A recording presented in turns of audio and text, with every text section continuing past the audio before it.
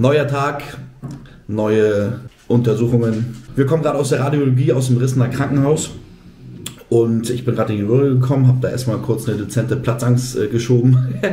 ich habe da erstmal so einen Helm auf den Kopf, auf den Kopf gesetzt bekommen. Als, sobald, als sie mich reinschob, hab, musste ich irgendwie direkt erstmal wieder raus, musste mich erstmal hinsetzen, musste erstmal ein paar Mal tief, äh, tief Luft holen, weil das so eng war. Wow.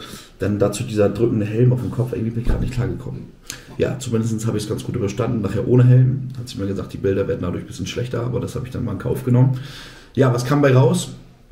Mein Arzt vermutete ja Bandscheibenvorfall C6, C7 so auf der Höhe. Rausgekommen ist jetzt, äh, dass ich einen äh, leichten äh, Bandscheibenvorfall C5, C6 habe.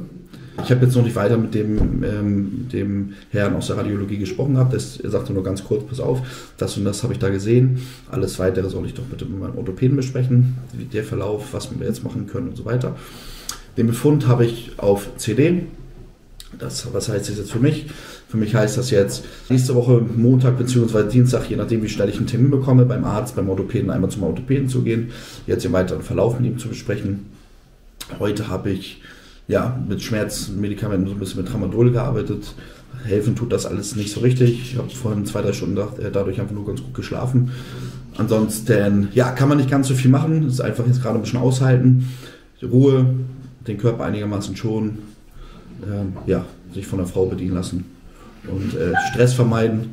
Das ist ganz wichtig, hat der Arzt mir gesagt. Und genau, in diesem Sinne, danke fürs Zuschauen, wann immer ihr das Video auch seht. Wir halten euch auf dem Laufenden. Viel mehr gibt es für heute nicht zu sagen. Dankeschön. Bis dann.